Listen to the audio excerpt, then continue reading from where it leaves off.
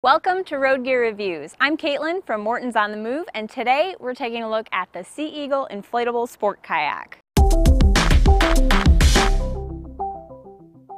So in this bag next to me is an inflatable kayak by Sea Eagle. It is the model 370 and despite its small size in this bag, it actually expands out and inflates to a 12 and a half foot inflatable kayak. As you can see, it packs down to just a fraction of its size, and the weight of the bag is about 38, 40 pounds. So this bag makes it really easy to carry this kayak around. It's got this handle in the front and this shoulder strap in the back so that you can carry it to the shore or waterfront wherever you're going to be setting up your kayak. So in the bag, you get the kayak, which as you can see folds up really small. You get two inflatable seats and these are the deluxe seats. They come in a variety of different packages, but we've got the deluxe seats here that we'll tell you more about.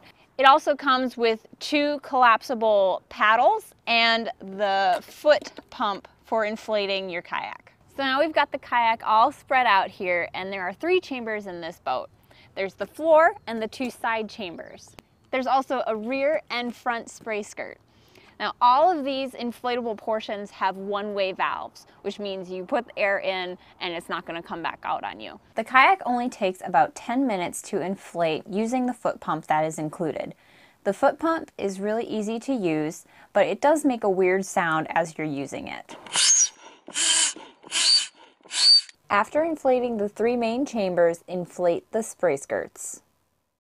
So as you're inflating it, there is this inflation monitor section printed right onto the side, and you match that up with this inflation monitor template that comes with the kayak. Simply place the template over top of here, and you can see how far to inflate. As you pump, this will this area will expand and stretch out to the optimal inflation. To deflate, make sure the kayak is dry and then simply unscrew all the valves. Deflation happens quickly, so you can immediately start folding and rolling the kayak to push out all of the air. So like I mentioned before, these are the deluxe seats. And what that gives you is a little bit better back support and this five inches of lift off the floor of the kayak.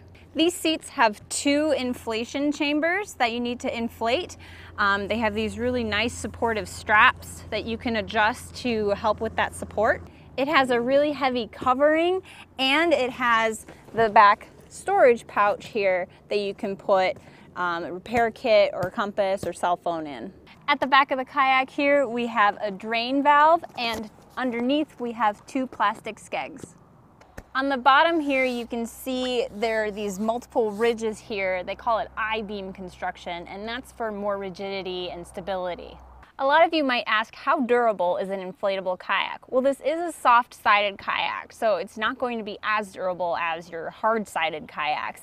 You can still press into it pretty easily, it's still soft, but they have put a lot of effort into the durability of this material. It's sun resistant and saltwater resistant, and they also include a uh, repair kit with your purchase that has some glue and adhesive to fix any holes that may occur.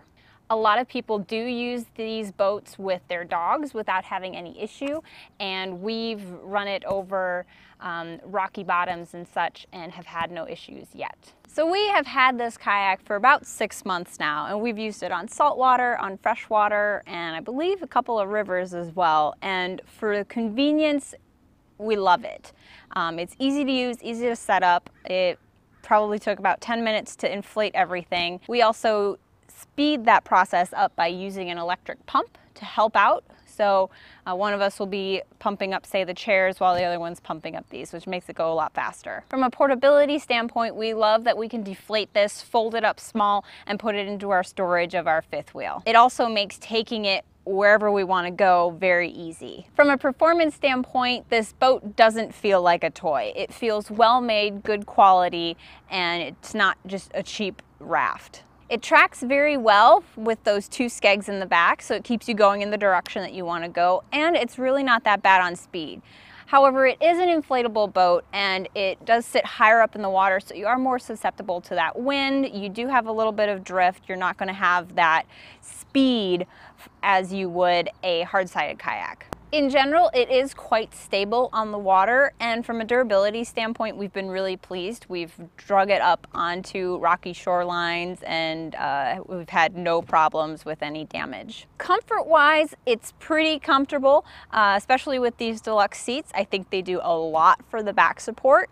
Um, however, if you're a very tall person, um, there is a little bit of cramped leg space. So I wouldn't recommend taking this kayak out on maybe like a five, six, seven hour kayak. We've mostly used it for one or two hour adventures and it's been very comfortable. You can pop your legs up over the sides if you want to get a good stretch. So one of our only complaints with this kayak is that the, these three valves right here are all right on top of each other. So when this is all folded up, they have a tendency to run into each other and make little dents on this sealing piece of plastic, preventing it from sealing properly when you have this screwed in. Those indents can be fixed by using a hair dryer or similar to warm up the area and pop those dents out. But if you haven't brought your hair dryer to the lake with you, that can be a little bit inconvenient.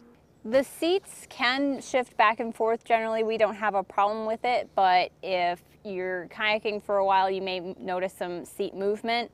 Um, and the other thing that we noticed is there's no real clear indication of front and back. So we have put these seats in the wrong way before, which means the skegs were in the front and that did not work well at all. It inflates and deflates really quickly and when inflated, it's really easy for two people to carry. It's really lightweight and portable, but it's heavy enough that I wouldn't suggest hiking three miles with it before you get to your kayaking destination. This kayak is advertised as being able to fit three people, but honestly, I think you'd be really cramped.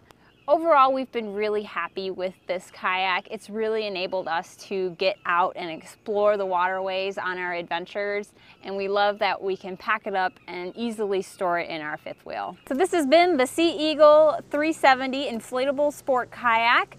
You can check out all the information in the description below.